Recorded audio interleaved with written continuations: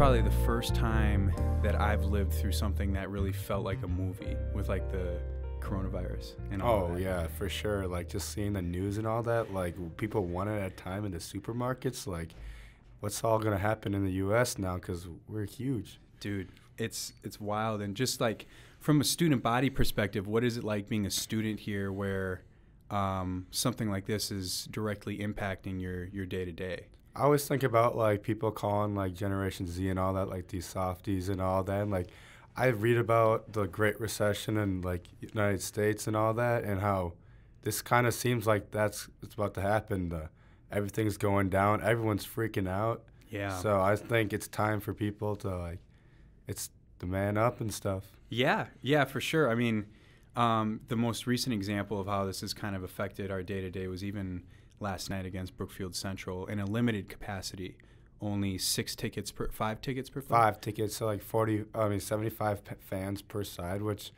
it was kind of unfortunate because even win or lose, it was our, it was going to be our last game, and we we knew that. But it was kind of sad to know that everyone that you work so hard in the gym when no one's watching that the point of the games are to ball out and hopefully get as many people there to watch you through like that hard work you put in but they limited that which was like a major aspect of the game was taken out Mm. But it was a small gym, so even though it was lesser of a crowd, I felt like it still got loud at times. Oh, there was for sure energy, and the parents and the students who we made sure to pick family members first, and then specific students that could really be loud and, and obnoxious. So, like Jack Herrick. yes, yes. perfect, perfect. Yeah, it was really cool just watching you guys as somebody who had built a relationship with a lot of you through the football field. Um, seeing you come out and the chemistry that you had on the basketball floor all year was unique, and it's not always like that. And um, what's that like when you play with other people, classmates of yours, friend, best friends of yours for, gosh, probably what six, seven years now? It's uh, I for Sam McGath, our, he just scored a thousand points. Like we've been, we played basketball since first grade upwards. Sheesh. And then I met Michael Per- Poker at church class, second grade, and ever since then we've been the the trio. And then having my brother a year younger, he's kind of been then like that side guy that Yeah. we br- tag him along, not always liking him there sometimes, but once we hit the fourth and fifth grade, we were playing all these games, playing two on two baseball, basketball. And then that's just then we got to middle school. Brady started joining in us, and then Luke's friends became one big knit group. And it's you don't play for yourself anymore. You play for the people around you. your family. Yep. It's it's your family, and it's something straight out of a movie. You know, where um, you know I was talking about the coronavirus, but even this is much more like movie esque in a way, where you have this group of friends that just have this tight bond um, that seems really unbreakable. And to be able to experience these memories like state championship in football, and then third round of the playoffs in basketball, it ha- it has to be just like almost um, second to none in terms of like how you feel inside being out there on the court with the guys. Yeah, it was just fun. And then also, you know, when like someone's not performing and all that, like we're close enough where you could get in almost a fist fight in practice, but you come out and you still love each other. So like, Yeah. it would never got to that fist fight, but it was like, you gotta get going, like, and more like just keep it going and Yeah. work harder because no one cares that you're tired. Well, that's that's what brothers do, right? You know, and they, they get into the fist fight, and then an hour later they're having dinner together. So I know firsthand watching you and Luke through the football season. Oh, yeah. chucking footballs at your helmet and stuff like that. That was uh, those were interesting times, but nonetheless, it was really cool to see that relationship with all of your friends unfold in just the year that I've been here so far. So. Um, it wasn't the outcome that you wanted last night. It ended up going to two overtimes, and then um, Brookfield Central went on a little run, and, and that was about it. But just as a whole, um, can you just touch on what the message was from Coach Rux and what everyone is taking from the team, um, just from the season in general? He was just talking about how um, even with our height, as you, most people would call it a disadvantage, how Mm. we made it into an advantage. How we were scrappier, we were better in shape. So the big dudes were gassed. Sometimes they were liabilities, and he was just talking about how in life you're not going to get dealt the same hand as everyone else, but you got to find every opportunity as little ones, little ones, and after a while they turn into big opportunities. And if you don't grab those, some someone else will, and that makes you you won't get that opportunity. You won't get that next thing in life that you want that you work for. And as he was just proud of us that not very many people thought that we were going to get even that close, even Right. win. But then we had two opportunities that we just missed. And that's okay, man, because the way I see it is um, what you learned, even though there was a loss, what you learned is more valuable in terms of taking it with you for the rest of your life. And just your ability to um, overcome odds that really were supposed to prevent you from getting to where you ended up.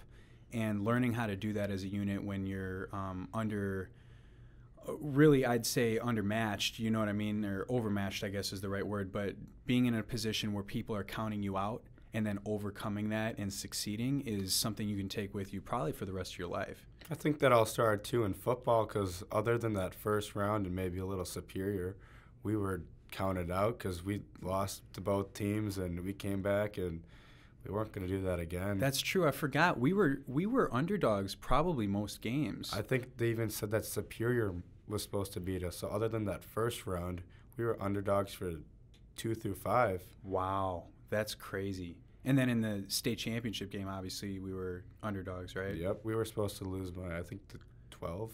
Because Waunakee had been there like nine times or something That was like their tenth time. That was our second. So Wow, and we're 100%. And what's Brookfield Central? we won't go there. No, we won't go there. we don't want to give them any bulletin nah, they got they got us in basketball. That's we- true.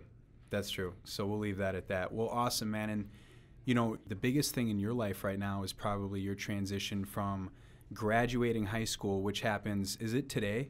No, uh, I'm supposed to graduate. It's March 22nd, Okay. which was scheduled the day after state, which is a Sunday. But as of now, with this whole pandemic and that uh, school's not going to be in session for the next couple weeks, that today will be my last physical day at school. Wow. Last day of high school. How do you feel? It's exciting, but knowing that I still have to do work though is like it's mixed. Yeah. And like, am I gonna do that work?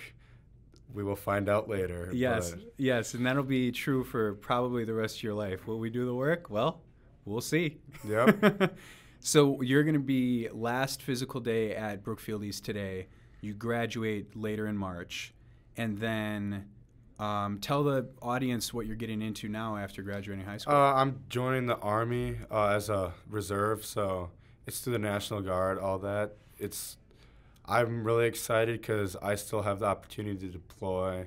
I'm a one time, uh, one week in a month, two weeks in the summer, but I still have to go through basic camp, which is four week, uh, four months. I'm sorry, and then uh, the opportunity I think is going to be endless. That I'll put myself to the test. I'll put my mind, body to limits, and see what I can do. Yeah, that's the really cool thing about the military is you're pushed beyond what you think you can do. And what happens is is then when you finish your service and you go into the civilian realm, you are so far ahead of your peers because you've gone to limits that um, most likely they haven't been able to push themselves to. And that's really no fault of their own. They just haven't been in an environment that can push them that far. Um, and you know, most people, I would say, unless you have a lot of family members that are in the army or whatever the branch you're going into the army, Yes. um, but whatever branch it is, unless you have a lot of family members there, you probably don't know exactly what you're getting into. I have three cousins who've gone through it. It's Okay. all like couple last couple years, but I I asked them a couple things that they say that they don't want to ruin it for me. That it's the experience within itself. That Yeah.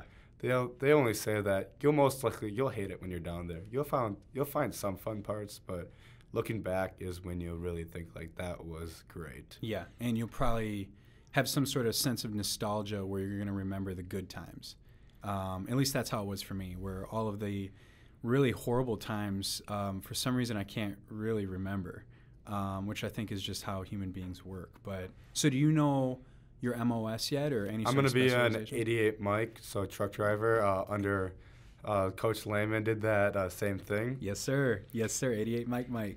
Yep. Looking good, man. Yeah, so do you know exactly whether you'd be working like? Have you gotten into um, you know, are you going to be working with PLS or HETS or any sort of specific vehicles? Um, I had the opportunity. I had choosing between two units. One unit, 45 minutes away in Janesville, Mm-hmm. was heavy HETS, but then I had one in Sussex, which couldn't.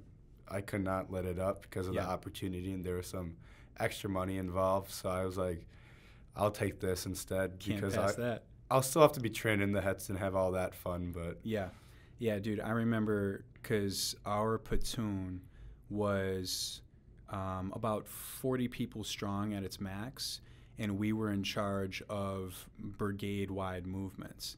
And so, basically, what that means is there was a very small group of people that were in charge of moving a lot of equipment for a lot of other people, um, four or five, six times the amount of people that we had.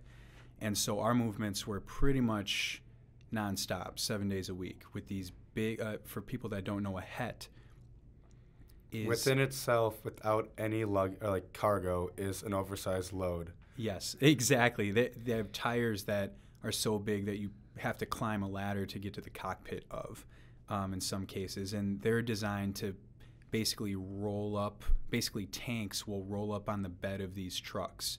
You'll strap them down and move where you got to move. So if you think of a truck that has the capability to move a tank, um, it has to be pretty big. I think I heard that it has like 55 wheels or something. So It's- 'cause they're- yeah, it depends on the type, but I know it has a lot of wheels. yeah, so it's it's a lot bigger than an 18 wheeler as most people would see. Right, right, exactly what you normally see on the road. And then, yeah, so you'll get really good with strapping things down and um, kind of learning the procedures of convoys, I'm sure. Do you have any part of you that um, is nervous or, or scared at all? Obviously, like as it gets closer, I'm getting more antsy and more like, can I? It's like questioning my uh, decisions and all that. Hmm. But I see that uh, I just have a lot of confidence in myself that I've been trained even through all these sports and Oh, yeah. mental toughness that I can get through it. And it's just, if a lot of other, I just see all these other people getting through it. And I just say, if they can do it, why can't I? They're human just like me. Hmm. I love that. I think that that's such a great thing, a great outlook on any situation. And especially somebody like you, who is a natural leader and um, bringer of energy to any group that he's a part of. So obviously, you were one of the leaders of the defense, playing linebacker for the football team, probably um, the most vocal leader on the team. So whenever we would break huddles as a team or whatever, you were always giving a speech, and that energy is infectious. And um, you're right. I've seen people, soldiers that have gone through and been very successful in the Army that haven't done nearly what you have at this point in life. So I would argue that not only are you going to be a successful um, soldier in the Army, but you're going to be having opportunities that I think others won't just because of your infectious personality and your ability to lead. So what that'll mean is rising up the ranks pretty quickly and having the opportunity to probably go to some schools. I don't know if you've talked about. um, Combative and maybe Ranger. Oh, okay. Want to go to Hotel Ranger? Okay, I see. a fun eight weeks of straight. If you go straight through. oh, yeah. I've heard it takes one or multiple times. Depends. I don't know. You might be able to hit it straight through. You know, athletes and people that are able to work in teams um, usually don't get peered out, you know, because they know how to deal with social circumstances. So, um, well, that's exciting, man. That's really good. And what do you think the biggest takeaway from your experience here at Brookfield East is that's going to help you in the next phase of your life with the Army? I just think that yes, like coming into high school, you super uncomfortable, getting just whole new scenery, whole new people, and through the years, I've really learned how to communicate, Mm. talk to different types, people with different walks of life. And at first, people you think that I would never talk to these people, Mm. but you actually just looking, other than just how people look and like how people I, I've just became friends with a lot of people that I have never thought I would talk to, which have actually brought me to be smarter, push myself, and then I think that's going to help me in the future. That's awesome, man. I think that's exactly what somebody like you in your circumstance should be thinking. And um, I'm really excited for you. Just on a personal level, having to get to know you as a human being, um, I think you're made for this. I think that you're going to be able to do whatever you want in life, and um, you know, I always want to be here as a resource to help you out along the way. Um, so hopefully, I've done a, an okay job enough to this point. Well, well, yeah, a lot better than okay. Thank you. I appreciate that. Well, man, I know you have other places to go and people to see, so thank you for doing this. Um, this is the, I guess, officially BEHS Radio number two. We're here with Nick Pluemer, um, all star linebacker, state champion, and uh, six man extraordinaire on the uh, basketball team, but most importantly, a great human being. So good luck to you in your endeavors and uh, cool. Cool. Thank All you. Right. All right, take care. What do you think? I thought it was good. Yeah? I thought at first I was kind of like, what's gonna happen? And then after like the